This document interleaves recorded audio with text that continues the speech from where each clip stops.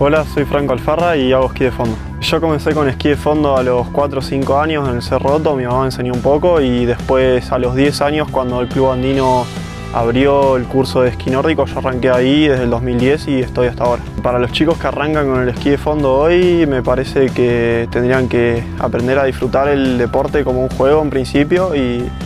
y disfrutar las cosas más lindas que tiene este deporte, que es por disfrutar la montaña, hacer actividad física en el momento que estás esquiando, te esforzás, y sentís que, que mejorás y poder empezar como un juego y encontrar lo más lindo que tienes, que es la libertad de poder moverse en la nieve.